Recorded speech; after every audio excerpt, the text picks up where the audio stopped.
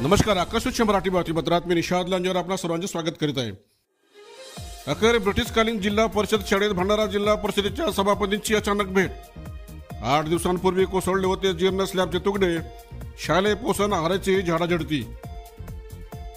गेल्या दहा जुलै रोजी साकोली येथील जिल्हा परिषद केंद्रीय उच्च प्राथमिक शाळा केंद्र क्रमांक एक येथे जीर्ण इमारतीच्या स्लॅबचे तुकडे कोसळले असल्याची बातमी प्रसारित करताच आज मंगळवार दिनांक अठरा जुलै रोजी भंडारा जिल्हा परिषदेच्या शिक्षण व समाज कल्याण सभापतींनी अचानक भेट देऊन शाळेची संपूर्ण तपासणी केली.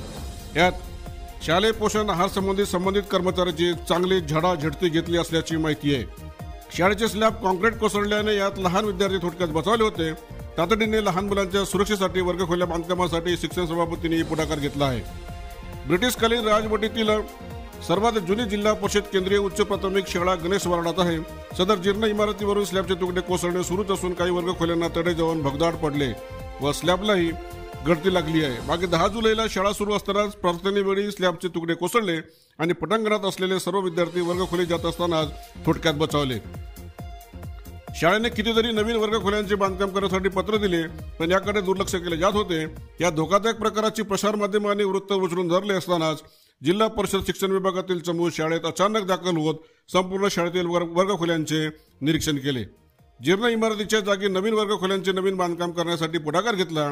यातच शासनाच्या शालेय पोषण आहार साहित्यात निकृष्ट आढळली. यात डाळ मिरची पावडर गोडा मसाला पॉकिटे इत्यादी साहित्याचा समावेश होता. या शालेय पोषण आहार पुरवठा कंत्राटदाराचे देयक यावेळी बंद करण्यात येईल असा पवित्रा जिल्हा परिषद शिक्षण सभापती रमेश पारधी यांनी घेतला.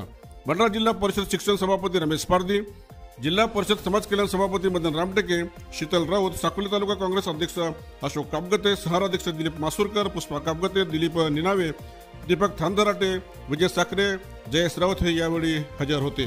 तद्वतच शाळेत या जीर्ण इमारत विषयी झालेल्या बैठकीत लहान मुलांच्या प्रथम सुरक्षेसाठी सभापतीकडे तात्काळ नवीन वर्ग खोल्यांचे बांधकामासाठी मागणी करण्यात आली. यावेळी शाळेचे मुख्याध्यापक शिक्षक कर्मचारी तसेच शालेय शिक्षण व्यवस्थापन पदाधिकाऱ्यांसोबत बैठक घेण्यात आली. यावेळी शिक्षण सभापती रमेश पारदी यांनी नवीन वर्ग खोल्या बांधकामास अनुकूलता दर्शवली.